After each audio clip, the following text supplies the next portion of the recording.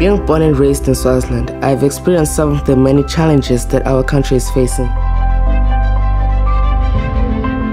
Being outside inspires me to look at things and see how they've evolved. When I was younger, I watched a mind blowing environmental documentary. The inspiration came from my passion for music and realizing there are people out there who cannot experience it the way I do. Que hemos descubierto un mundo asombroso oculto en ríos y cursos de agua cerca de donde vivimos.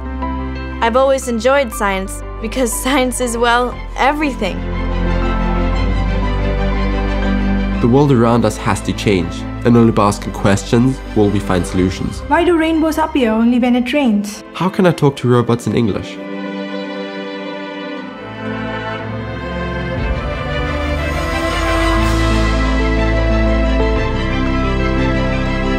We shouldn't be scared by how crazy our ideas seem.